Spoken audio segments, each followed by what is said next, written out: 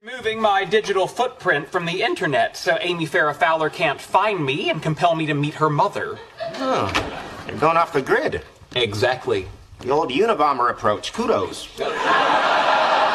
Thank you. I've also sent Amy a relationship termination notice and changed my cell phone number and email address. What if she just comes over? She'll get lost. We no longer live at 2311 Los Robles. We now live at 311 Los Robles. You changed the address on the building? What about mail? Yeah, but no worries. I explained my predicament to our letter carrier. He was sympathetic. His exact words were, Got your back, Jack. Bitches be crazy.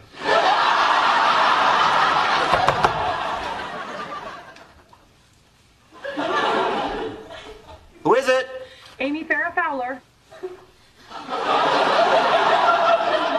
Darn, she found me. She's been here before. The only flaw in an otherwise perfect plan. Now get my back, Jack. What do you want to do? Tell her I'm not here. Okay, where are you? I don't know. You'll have to devise a scenario that plausibly explains my absence, keeping in mind that the key to a good lie lies in the details.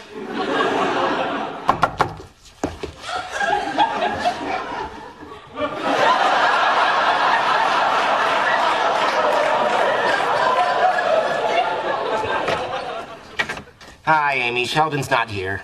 All right.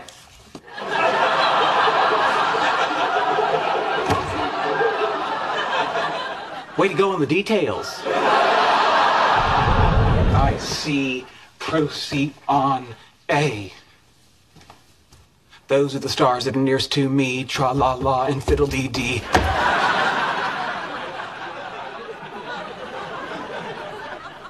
Oh dear. They really do be crazy. EZ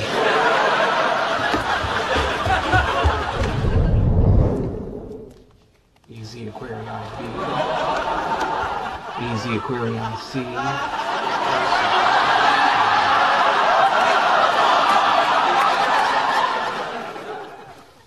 Excuse me, madam. Sheldon, Rats. I believe a misunderstanding may have occurred when I asked you to meet my mother. No misunderstanding. I've learned what that request actually means, and I don't want to be joined to another object by an inclined plane wrapped helically around an axis. In what way are you screwed? All I want to do is present you as my boyfriend to my mother so she'll be satisfied that I'm in a relationship. So we'd be perpetrating a ruse? Precisely. And you haven't fallen hopelessly in love with me? Don't be absurd. I find the notion of romantic love to be an unnecessary cultural construct that adds no value to human relationships. Amy Farrah Fowler, that's the most pragmatic thing anyone has ever said to me. I trust this clarification allows us to return to boy slash friend slash girl slash friend status. Of course. Would you like to join me for Chinese food? Sheldon, please, you're suffocating me.